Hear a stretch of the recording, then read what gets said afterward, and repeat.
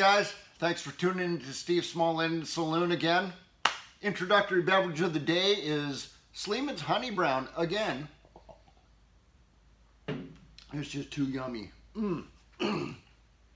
hey, before we get started, I got to do a little product review. a product review. You guys got to check this out. My daughter Jenna made this for me. Look at this. It's a wallet made out of duct tape.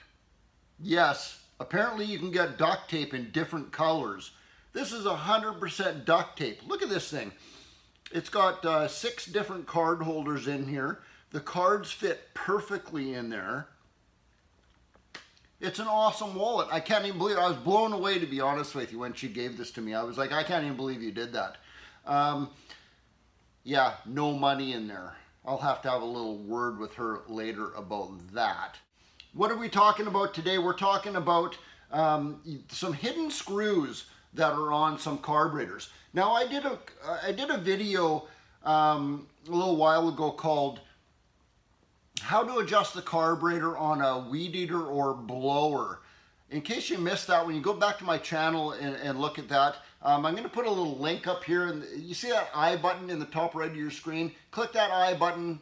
It's going to have a link in there for you that will take you back to that video if you want to see the adjusting one.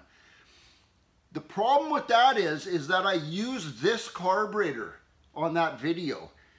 Clearly, there is a low speed and a high speed screw sticking right out of that thing. It's even marked L and H for low speed, high speed screw. You can't get it wrong. There they are. After that video, um, I got some comments on my channel. I got some comments on that video saying, um, yeah, but what if I have a non-adjustable carburetor? And I even had one subscriber actually sent me a picture of his, which was awesome. And he said, here's my carburetor. What do I do now? It's a non-adjustable carburetor. It's a Walbro carburetor. That's the one he sent, the picture that he sent me right there.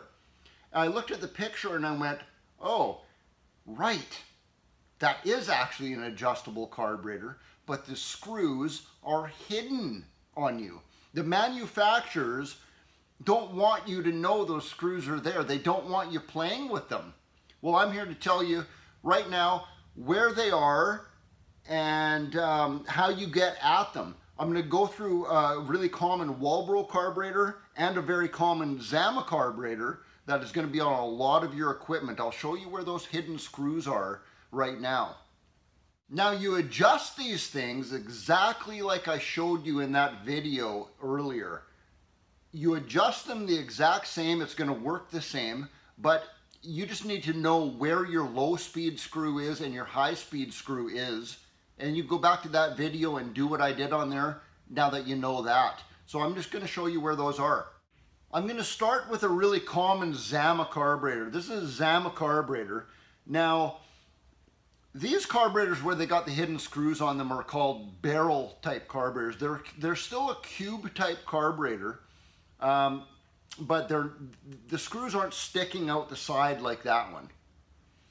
The carburetor that I used in that video um, is, is what I would call like a butterfly. It's a flap. It looks like this. When you open and close your, your throttle cable, your throttle lever, it opens and closes that little flapper right there. It's a butter, some people call that a butterfly flap, whatever you want to call it. These other ones are called um, barrel type carburetors.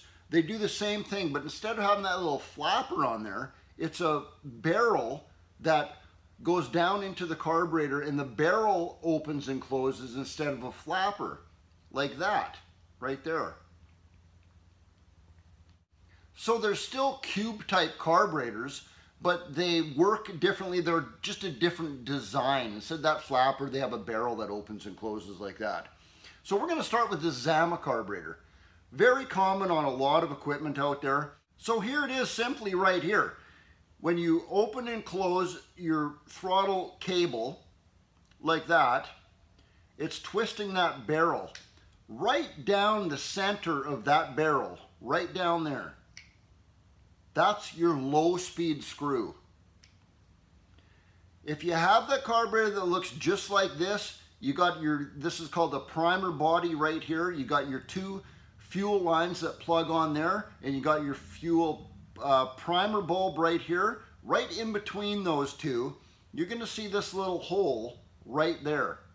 That is your high speed screw right there. Now you know where your low speed and high speed screw are on that Zama carburetor. How do you get at them? How do you adjust those? Unfortunately, what the manufacturer does is they stick a little plastic plug down both those holes. It's a little plastic plug that looks like this. Tiny little thing like that. They just jam that down the hole to prevent you from getting a screwdriver down there. They don't want you messing with those screws. How do we get those little plastic plugs out of there so you can get to the screws and adjust them? There's a little uh, uh, extractor tool that you can get. Um, if you go to your small engine shop, your local small engine shop, they should be able to set you up with one of these. It just looks like a, a, a screw or a very tiny bolt on the end of it. It's actually a left-hand thread on it, so you screw it backwards to screw it in.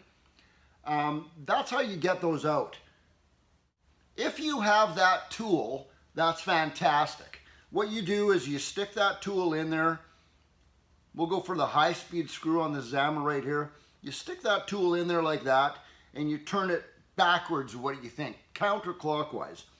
Turn it a couple, three, four turns maybe, and it's supposed to screw itself into that little plastic plug. And then you can pop it out and you'll see that little plastic plug stuck on the end. If you can't get it, that means that little plastic plug, unfortunately, is stripped already. You can't get that out of there, you don't have, or you don't have that tool right there. This is how I get them out. After you get that plastic plug out anyways, you're gonna need a little flat screwdriver. A little tiny watch repair screwdriver, something like that. It's a flat screwdriver. You can take that screwdriver right there and even though that plastic plug is still in there, here's what I do to get that out. I either take my Bic lighter out and heat that up. You can heat the end of that little screwdriver up. It takes a long time with a Bic. You can take a propane torch, heat the end of that thing up until it's just starting to turn red. Then what you do is you just stick it in there. Just You don't even have to twist it. You just stick it in there and you're going to hear it go and it's going to sizzle right in there and it's going to melt itself into that little plastic plug. Wait now, 30 seconds, something like that, blow on it if you want, cool it off. 30 seconds later, it's going to be hardened in there, and then you can twist it and and and start turning it, and it'll pull out of there, and you're going to see a little plastic plug stuck, melted on the end of that little screwdriver. You just knock it off there, cut it off with a razor blade, whatever you want. Now, you look down in there with a little with a little flashlight and you see, yep, I see a little slot in there. Now that screwdriver is going to go right back in there and now you can turn it. You're going to feel it turning. Do the same thing on the low speed screw down the center of that barrel, right down the top of your carburetor. Do the same thing. Get those plastic plugs out of there. If you do have that tool, you can do the same thing with that. I do this a lot at work. Um, the, the little plastic plug is stripped. You can't get it out. You can heat that up just like you do that and it melts itself around those little those little threads on there and boom, pop it out and then you just unscrew it when it's cool. That's your Zama carburetor. Now you know where it is on the low speed, high speed screw on those really common Zama carburetors. Now we go back to that Walbro carburetor that looks like that. It's the exact same thing except it's different. same thing, low speed is down the top where the barrel turns like that. That's your low speed screw.